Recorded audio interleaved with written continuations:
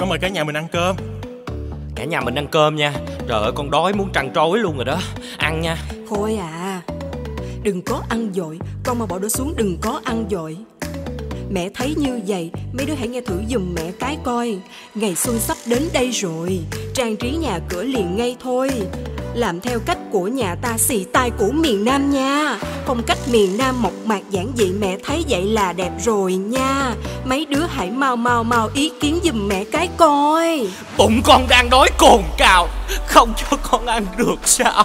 Khôi ơi là Khôi Bớt ăn chút coi. Thiệt ra con thấy là mình đón xuân theo phong cách nào thì cũng được. Ui, ui Hà Nội, đau em. Phu quân nội chi rửa, gian ra để em. Mà à không thể như rửa Mà làm giống như vậy Đẹp đẩy nhưng mà cụ đầy. Năm năm rồi đó mà à Không biết mọi người chưa rỉ. con thấy hơi chán. Ô kìa kìa kìa kìa kìa Cụ cung dần ở Huế kia. Mà Huế chính là quê em. Công tặng tung nữ công dung ngôn hạnh Ôi, chú cha mà ơi, Em luôn nghĩ rằng Em là hoàng thân quốc thịt. Đón xuân đẹp như cổ tích, Phong cách quý tộc cung đình. Vừa sáng lại còn vừa thích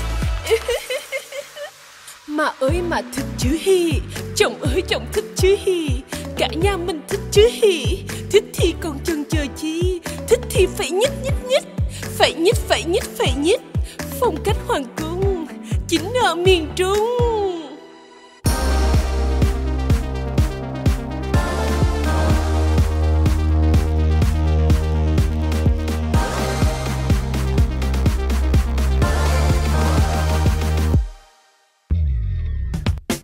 Thôi cả nhà làm ơn im hết đi.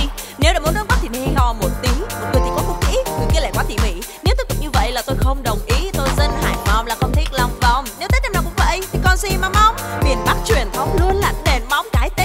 Tông còn lại sang trọng mỗi người mình nói ít một câu nhé. Cãi nhau chỉ mất đi thuận hòa.